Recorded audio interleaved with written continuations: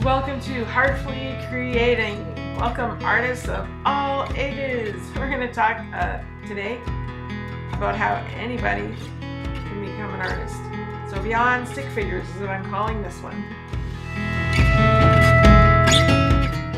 Hi, artists, young and old alike. And even if you think you're not an artist, well, guess what? Anyone can be an artist. You have to just want to create and you have to love creating. And I had an art teacher once years ago, I'm really old, um, who said that she had only two students out of about, I think it was a thousand, that she couldn't teach to draw. And it was because they had it so stuck in their head that they couldn't. So, and, and this was a crash summer course um, for one week. And to see the difference in the artwork done by the, the people who came at the beginning of the week, it was like from 9 to 5 every day, something like that. And and by the end of the week was incredible. So clearly she proved her point that anyone who just was open to learning how to make art or draw or whatever it may be, um, you can. So your brain is huge and multifaceted and you can learn whatever you choose to learn. Now, making art shouldn't be something that's intimidating. It shouldn't be something that people, oh, I can draw stick figures. I've heard that my entire life. So people say I can draw stick figures when they see what what I do, which to me is just normal, but um, I've got a lot I can still learn, and I'm almost 50 years old. So um, they um, say that I can do stick figures. Well, guess what? They could do more if they really wanted to. So don't don't let that get you down. Just if you can do stick figures and you think that's all you can do, I know you can do more because anyone can. Um, there's an uh, amazing story once I heard. This is just to do with with singing. So just just uh, an example to show you how you can train yourself to do anything that you really want to do. When I was younger in high school, and I used to hang out in the cafeteria with our kitchen staff. Um, I really liked they had something in our, our city called Persian, so I used to get them to toast me those up. Let's just say I gained a few pounds during grade 12.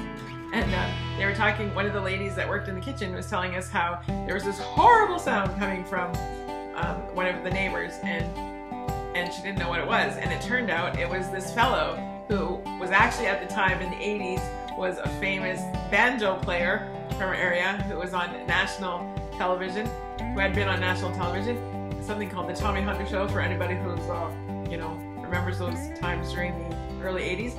And uh, he was learning how to sing and turns out he ended up becoming a singer and having a band and not just playing the banjo. But it sounded horrible at the beginning and the neighbors could hear. But he pressed on and he learned. So you could train even your voice. So never, I, am not about the, the, voice. I don't know a lot about that. But I know that with, with practice for, with the voice, you can learn how to sing even if you can't hold a note. Don't even ask me what a C is, other than the, the letter. Um, but with drawing and painting and sculpting and wire art, art, and I just those are the ones that come to, to my mind because that's what I do. Um, I just know that the more you do it, the more the better you get, the more you learn. So don't give up and just practice, practice, practice, and look at the work of, of other people for ideas, but don't copy. Um, I'll talk more about that in another video, but yeah, so just be inspired and I don't want to ever hear anybody say, I can't do that or I can only draw stick figures because if you want to do more, you will. And you can. Make sure you have fun. Because if you're not having fun, then move on to something else that is more fun for you. It might not be creating um, in an artistic way. People can be artistic with food. People can be artistic with shopping. I wouldn't recommend that. That could get expensive.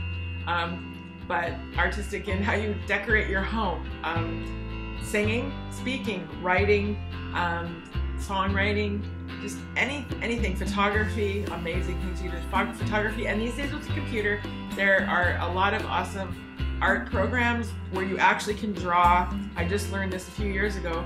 Um, I grew up drawing with a, a, good old pencil and and little fine tip markers, but you can use programs now. I um, a tablet where you can draw digitally, but that's a whole other thing. And there's tons of great tutorials on YouTube about drawing digitally and drawing the old-fashioned way with pencils and painting and all that kind of thing. So, so don't give up and just remember if you want to know how to do it. Thanks for joining us today. I would love to hear from you and receive pictures or videos of your creations. So you can comment below and even post videos below or email at the email address provided. Just pause it so you can. See you next time.